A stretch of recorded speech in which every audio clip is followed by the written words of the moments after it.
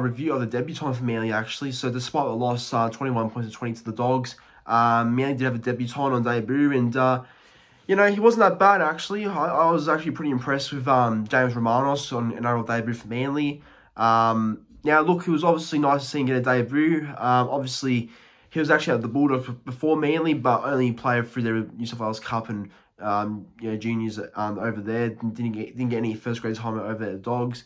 Uh, left late last year, and uh, obviously Manly picked him up on a training trial deal originally in early uh, 2022 this year. And um, yeah, no, look, he's um, really impressed, and uh, he's obviously earned himself a contract. I'm pretty sure amongst the teams. So hopefully he's staying at Manly next year. Uh, I'm not sure what his contract status is like right now, but um, I, I, think after tonight he should be, you know, hopefully retained for another season. Um, but yeah, no, he played well. I thought he made some good tackles, got, got, got busy early when he first came on, made a lot of tackles and wanted to uh, keep the energy going because I think at the time Amelia leading 16 0. Obviously, unfortunately, choked that lead.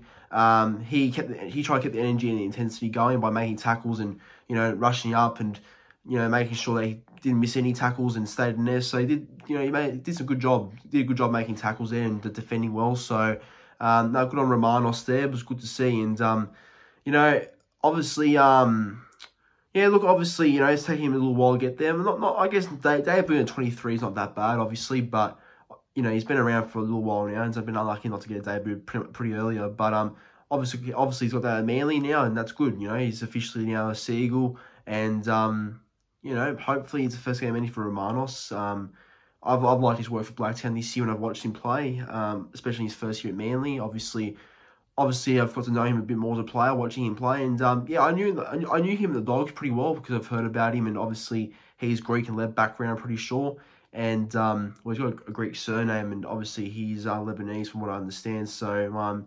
yeah, um, obviously yeah, no, it's good, it's good, and uh, like I said, hopefully it's the first game any for Roumanos, and um, you know, I was, I was proud of him despite losing, you know. So uh, let, let's see what he let's see what the club's plans are for Roumanos in the future and, and next year. So yeah, one to James in the debut. But um, anyway, that's my review on uh, James Roumanos' NRL debut. Thanks for watching. Make sure to like the video, subscribe to the channel, and uh, comment your thoughts on his debut.